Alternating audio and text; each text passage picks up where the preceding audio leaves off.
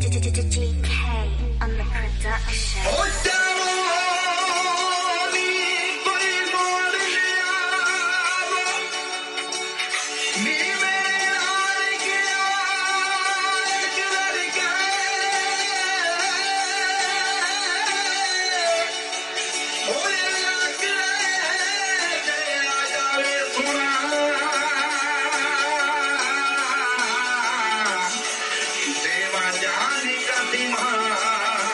te salí, tía.